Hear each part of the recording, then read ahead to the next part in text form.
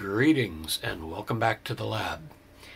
Time for another bonus video. We've got more stuff to unbox or in this case unbag. So let's pull out the first item and see what we've got. There we go. Another one from the legendary Alice 110 1983. I ordered a couple of items the second one was not absolutely necessary, but it was something I kind of wanted to play with. And it's also in part because to get things here to Los Angeles uh, from Alice, the first, usually it seems like the first item is $3 shipping. And if it's a $1.50 item, that kind of feels a little heavy for shipping. But then again, shipping to Los Angeles for $3, that's not expensive. um, uh, but then the second item basically looks like all the items beyond the first item get rolled into that. So free shipping. Um, so let's open this up and see what we've got. Well protected again. Oops, I cut into it. That's not a wonderful thing. Gotta be more careful about that. Alright. Let's see. Oh, that's wrapped all the way around. Alright, let's just pull out whatever's... Ah, I guess I'm going to need to cut the tape. There we go. Ah. and cut the tape again. Alright. Oh, wow. A bunch of stuff, but I think it's only the two items. I don't think I have anything else coming from Alice just yet.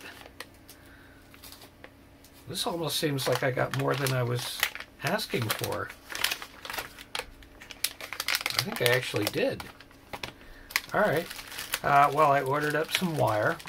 These should all be 10 meters long, four different colors, and this is for the DIY Christmas lights. I just need some wire. Uh, I have some wire already, but they have some longer lengths to work with. This should get me at least halfway, and then I can order some more if I need to. So that's that. The second, I thought I had only ordered two of. It looks like I've got four, unless I'm missing something. Nine, five. I'm just double checking the numbers here to make sure these are all the same. Well, I'm not complaining because this was going to be part of an experiment. And now, one of the things I was concerned about was whether or not that wasn't as me and the easy open stuff. I don't know what's going on with that.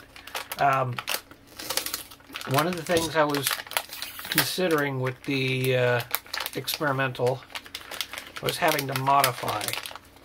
So this is a joystick, a little joystick.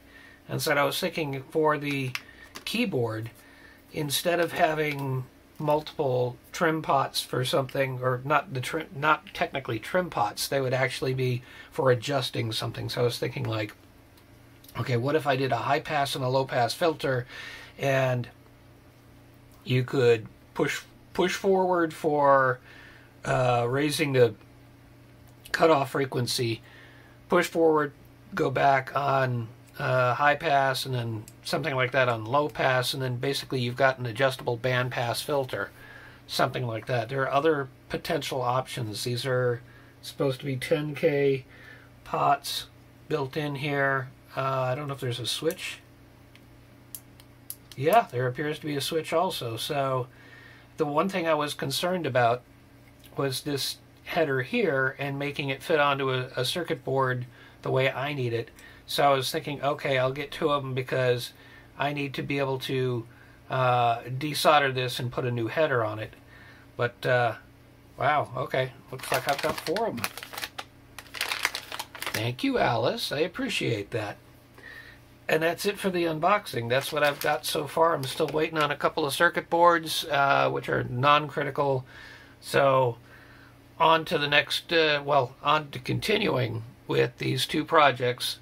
The uh, DIY keyboard, if you haven't looked at it yet, uh, is basically uh, me trying to figure out how I could build a keyboard.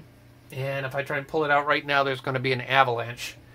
Um, but uh, a keyboard, I'll I'll put a picture up here so you can see what it looks like. And that is so I could do my own keyboard, develop my own sounds, my own oscillators, my own special effects, all the rest of that. But then it was a question of how in the world do I get a hold of a keyboard without buying a keyboard, maybe a broken keyboard. But then, what are the options in terms of keys? They're very limited. If I, I just recently went to go look online, and there's very little available. There's like one model that everybody's selling for like 20 bucks. For about 20 bucks, I can build my own, and so that's what that project is. And then the other is the DIY Christmas lights, which is a seasonal project and it's me trying to figure out could I build my own individual Christmas lights and string them together. And that's what all that wire is about. I'm going to need wire to, to go from one light to the next light, to the next light, to the next light. So that's where we are. Please feel free to take a look at those. I'll put the two playlists up at the end here. And thank you so much for watching. Have a great day. I got ahead of myself. There's another package. let's see. Now, if you've been watching the videos, you know I've been having one particular problem, just trying to figure out which end to open up, and hoping that didn't just slice into something. Yep, that looks like it's it. Oh, that's interesting packaging.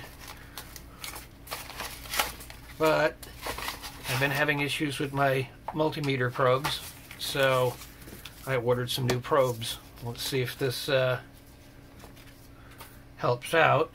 Uh, well, I'll go ahead and test them in the next video when I need them. But uh, that's what this was, was more multimeter probes. So hopefully that solves some of my problems. Thanks again. Take care.